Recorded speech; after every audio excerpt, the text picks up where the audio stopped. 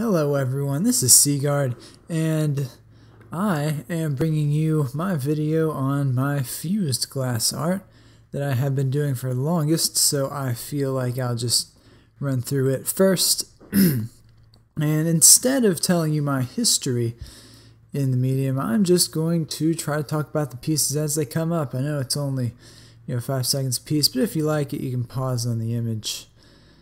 You know, take a picture, it'll last longer. Alright, so that's Mr. Game Watch's 9 hammer. Super awesome. Yeah, made with a ton of little canes, or not canes, but oh gosh, like threads almost. But anyways, that's what basically all these are. It's my fusing, ah, fusing style, passe. But then again, yeah, I really love that sort of style and stuff, geometry, things like that.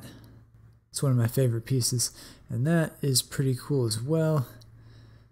And these are right before they're put in the kiln to be fired. So that's, you know, the rough stuff.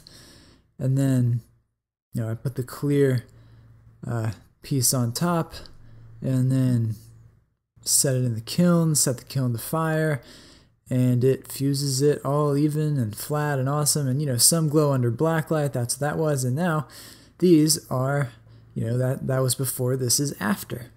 So yeah, as you can see, the glass is clearly melted into one cohesive mass. And yeah, not bad. Pretty cool. Glows in the dark. I mean, under black light. Then there are some other pieces. Uh, one of my one of my first necklaces, yeah, and smash pendants as well. One of my favorite pieces right there. You know, that fired and then some of these funky ones. It's pretty great. Again, some more geometry. Testing some things out. And that's a pretty cool one, that as well. See, I've been trying to replicate that one pattern. It, it's going to come up. And I'll tell you what it is. But yeah, I've been trying to replicate it for so long and haven't really succeeded. I love that one, though.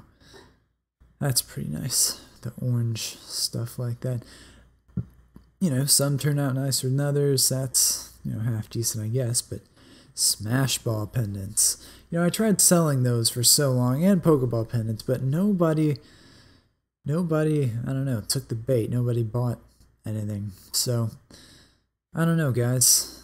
I don't know if I can, you know, sell that anymore. Or I can just make things for myself, which I'll obviously do. I mean, I'll, I'll make things, but will people buy them? You know, I have no idea, and they're quite reasonably priced too. I mean, what would I put them at like thirty bucks. Y'all can y'all can afford that. So, anyways, this is opening the kiln that is uh, being fired, and as you can see, it's pretty hot.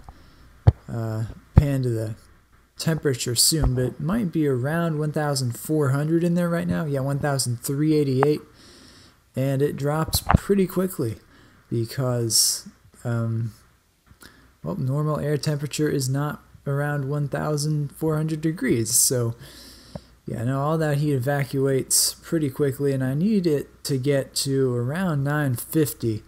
Well, let's say 9 like 60 something.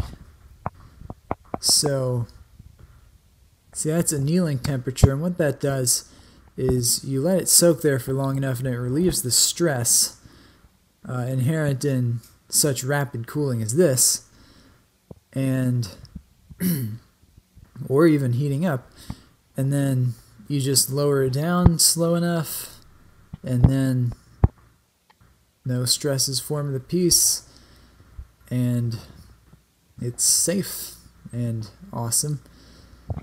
So that is this process called crash cooling. But anyways, you can see the smash ball pendants in there. It was a long time ago, like like two winters ago. Oh wow, yeah. Gee, I wish I was that free. But anyways, yeah, it's a nice time. First real getting into fusing.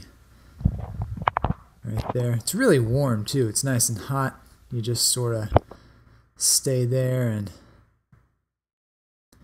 yeah, it's real nice. You can feel all that heat. yeah, another style of smash ball pendants. I really love this one, but then again, it, it requires a lot more work. Uh, I gotta be honest, so I'm not sure. But anyways, uh, corners are a lot tighter, so that's always good. Some nice coasters I made, all the different forms of glass I work with, bar plate rod, and the weirdest smash ball pendant I made, those that you know cross is made out of or that was mirror. Some pieces of mirror i just happened to throw in there. So it was nice that that worked out. But yeah some some real nice pieces here. Snowy day. I don't know what that black line and that white was though um some other nice geometric pokeball pendant other smash ball pendant i love that one shiny blue and white no I just can't beat that super classic. And spiral. It's pretty pretty cool. Nice angle the Pokeball. And a lot of tests that I was doing, seeing what things would do, how they would turn out. Pokeball on Pikachu's shirt, which is pretty great. Yeah, that, this is the one, that's my favorite one I've been trying to replicate for so long. And I just haven't really succeeded. An N and some more pendants that didn't work out because the bails were too thin. Um, anyways, oh yeah, and I also, you know, that straight bail you saw, I worked that into a loop in my torch. So, yeah, that's how I get the bail on all those. Or at least that's how I did. I might work up another method, but oh well. Anyways, this has been my fused pieces. Thank you for watching. Hope you enjoyed it. I'll see y'all next time. Have a great day or night.